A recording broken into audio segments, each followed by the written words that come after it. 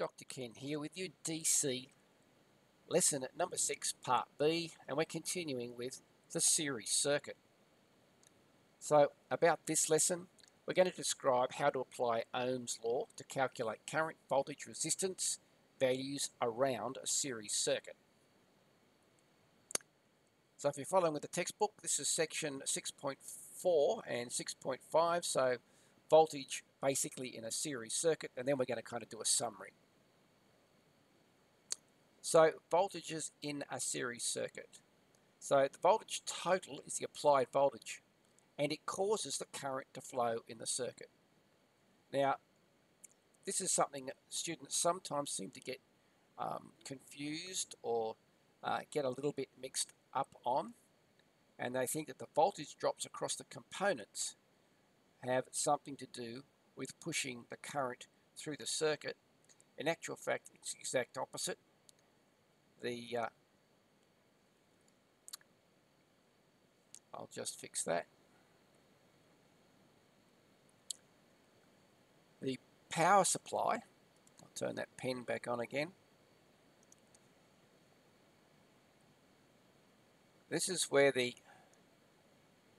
potential difference occurs that pushes the current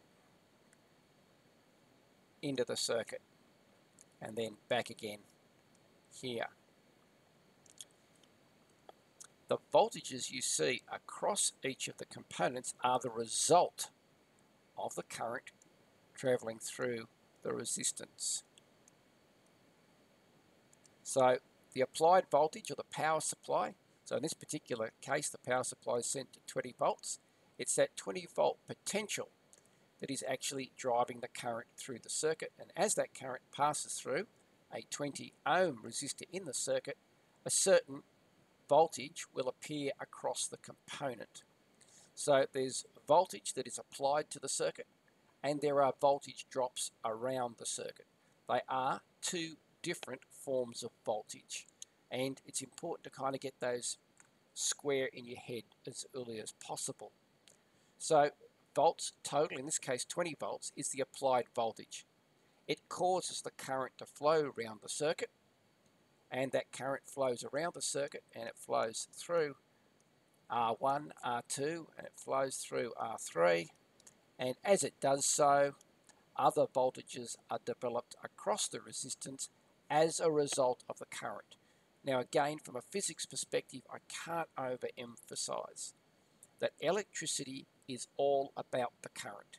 The current is what does the work at the end of the day. So let's not get confused that there are two types of voltage. There's the applied voltage to the circuit and then there, there are voltage drops around the circuit. So V1, V2, V3 are the voltage drops. A voltage drop is caused by the current flowing through the resistance. Which introduces us to a new law. It's called Kirchhoff's voltage law. So he's a Russian gentleman that came up with this law. And Kirchhoff's law basically says the algebraic sum of the voltage drops in a series circuit must equal the applied voltage. So there's those two different voltages. So when you add up all the voltage drops around a circuit, it must equal the applied voltage. So like like Ohm's law, it can never be wrong. It's the way the physics works. The voltage drops around a series circuit can never total any more or any less than the applied voltage now in a DC circuit. So we should put a little caveat on here.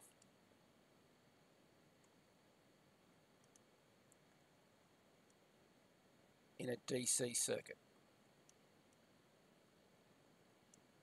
And you may get the answer to that or why I'm saying that later on when you do AC circuits. So put another way, this is Kirchhoff's law diagrammatically. It doesn't matter which of these voltage drops you choose to be the source. So if we say A to B is the supply voltage here, then A, B plus CD plus CA must equal the applied voltage. So all the voltages around the series circuit, so if we have a battery, for example, and we have a resistor, and we have a resistor, and we have a resistor, and for example, if our battery is supplying 3 volts, so, no, sorry, I'll make it 9 volts to make the, the maths easier. Make that 9 volts, then we go, maybe you can have 3 volts here, 3 volts here, and 3 volts here. Now the voltage at the supply, would you believe it, because it's the internal voltage of the supply, it's minus 9 volts. So 3 plus 3 plus 3 is 9. So if I simply do that mathematically, I've got minus 9 plus 9 equals 0 volts because that internal voltage of the battery is actually a minus voltage. So when I add them all up, I end up with this nice zero. So my VAB was minus 9. This was 3. This was 3. And this was 3. And I end up with a total of 0 volts. That's how Kirchhoff's voltage law operates. So calculating voltages across resistors now. So again, this is a just a typical example. And here we've got our 20 volt supply. And again, not too innovative here. We've just got 20 volts. We've got 20 ohms, 30 ohms and 50 ohms and we've got to work out what the voltage drops are. So quick and easy, we just add up what the total resistance is. So R total is add up the three resistors R1, 2 and 3. So that gives us uh, 100 ohms, doesn't it? 50 plus 30 plus 20. We're going to end up with 100 ohms is our total resistance. We can then use that to find out our total current. If you remember, current is equal to the voltage total divided by the resistive total. So we know we've got 20 volts on our power supply and we've got 100 R.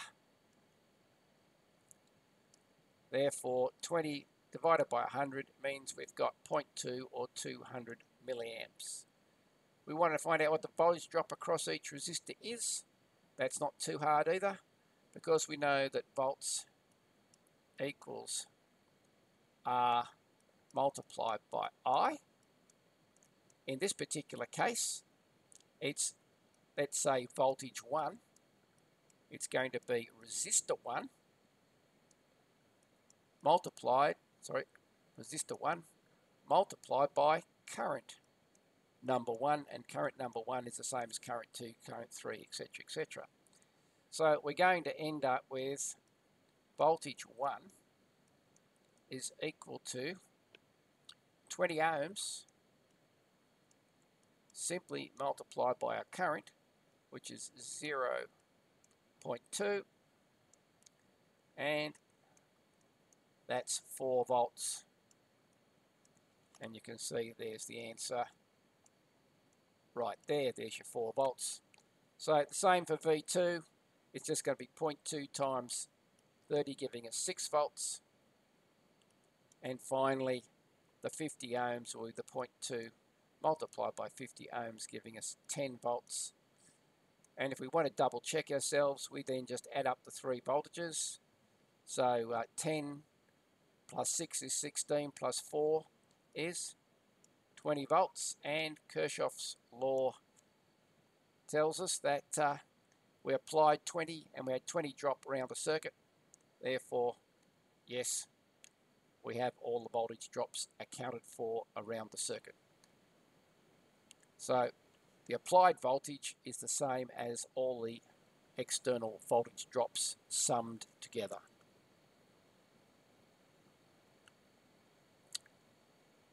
So uh, what if we uh, were given some information like this, where we have uh, an example to find the applied voltage drops around a circuit. In this particular case, it would be simply a matter of adding up V1 plus V2 plus V3. Example, find the applied voltage. Well, we know that R1 has 11 volts across it. We know that R2 has 23 volts across it. And we know that R, R3 has 6 volts across it. So it's a simple matter of 11 plus 23 plus 6. So our 11 plus 23 plus 6, answer 40 volts around the circuit. So there must be 40 volts applied to the circuit to meet Kirchhoff's voltage law.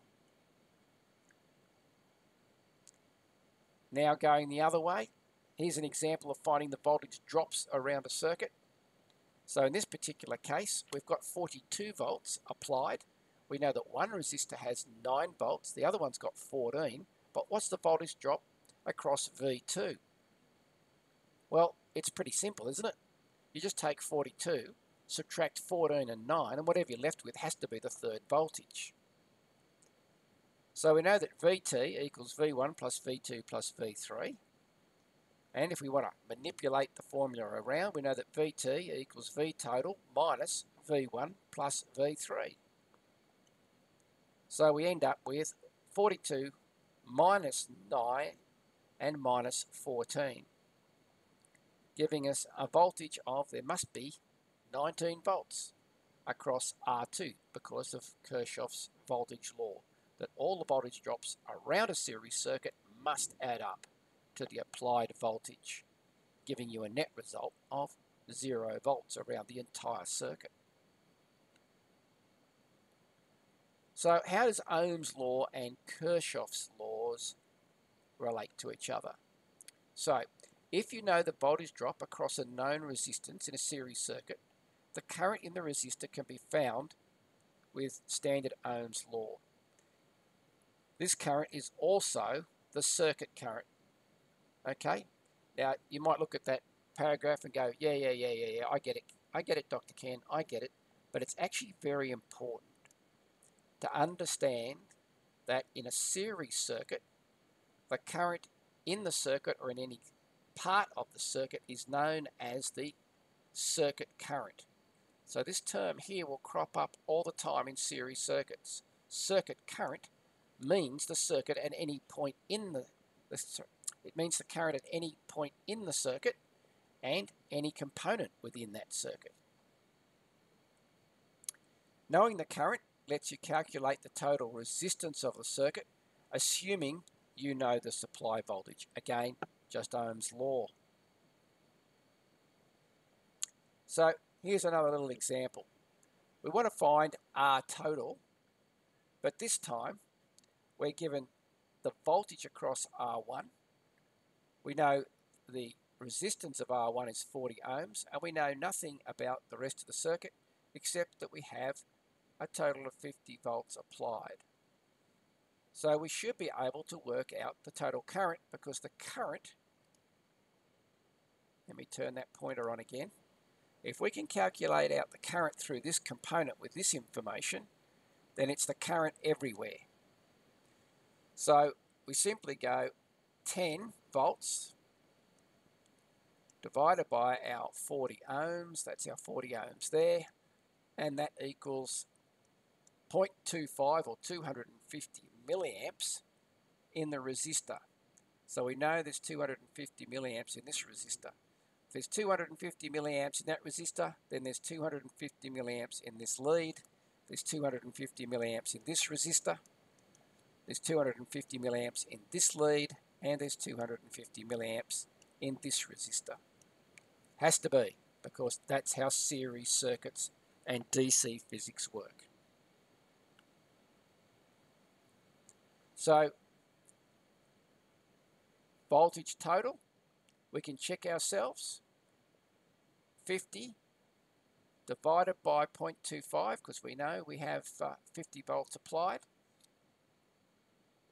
So we can work out now the R total and we know that the whole impedance of the circuit or the whole total resistance of the circuit is 200 ohms.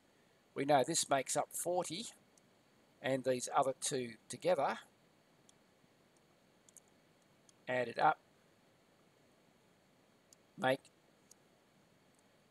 the other 160 ohms. We don't know what proportion, but we know that the R total for the whole circuit is 200 ohms. So Kirchhoff's voltage law says that voltages are added algebraically, which means you have to consider the polarity of the voltages. I mentioned that before. If there is more than one voltage source supplying a circuit, the total voltage is the algebraic sum of the voltage sources. Yes, we can have more than one voltage source in a series circuit. And here's an example of that. On the left hand side, I've got a 3 volt source and a 1.5 volt source. They're connected in series and the polarities follow each other. So plus goes to minus and then the plus goes to the load and then back from. Therefore I simply add these two together and I get 4.5 volts. But note here what's happened now. The 3 volt battery has remained, or the 3 volt supply has remained the same. So this one is the same. But this one he's been turned upside down. So you can see now minus, plus, and a plus. So I've come through here, the two pluses are together. So when I do the addition to this circuit, it's 3 volts plus minus 1.5 because I've turned it around. And if I take 3 volts and I add minus 1.5, it's like subtracting 1.5 and I end up with 1.5. So the second example has the voltage supply reversed and you're simply going to get voltages the other way around. And yes, you can get circuits that do this. So summing up our findings for resistance. The total resistance RT is the sum of each of the resistance values. So series circuit, that always remains true. When all resistors in a circuit are equal, then you can just go R total is equal to R times the number of components. The resistance total is always the voltage total on the current, and we can also express that as current total, but current total and current are the same thing in a series circuit where voltage T is the applied voltage. Individual resistance values are found using Ohm's law. Current in a series circuit is always the same in all parts of the circuit, doesn't matter where you are, always going to be the same. Current is found using Ohm's law. So when all the totals are known, we can simply go current is equal to V total on R total. So we know that I equals V on R. That's the general Ohm's law. And then we just got to make sure we're using V total on R total. Or if we actually know the individual values, we can actually also go voltage 1 divided by resistance 1 will also give you the same value in a series circuit. So these two things are not working out different things, they're working out exactly the same thing just from slightly different perspectives. So this is the same. It's the same current. The sum of the voltage drops in a series circuit always equals the applied voltage. So the voltage total is always all the voltage drops around the circuit all added up together, and that's called Ohm's, sorry, Kirchhoff's voltage law. And then finally, voltage total equals the current multiplied by the resistance total, and of course, that again is just Ohm's law. To find the voltage drop with Kirchhoff's voltage law, you transpose the equation in terms of the unknowns that you have. So if you're looking for whichever voltage it is, it's going to be the voltage total minus the sum of the remaining voltages. It's almost kind of common sense. And voltage 1 will always equal the current, that's the current total, current in a series circuit, multiplied by R1 for that particular part of the circuit. And again, that's just direct Ohm's law. So this brings us to the end of uh, lesson 6. I hope you've enjoyed learning a little bit about Kirchhoff's voltage law and voltage drops around a series circuit.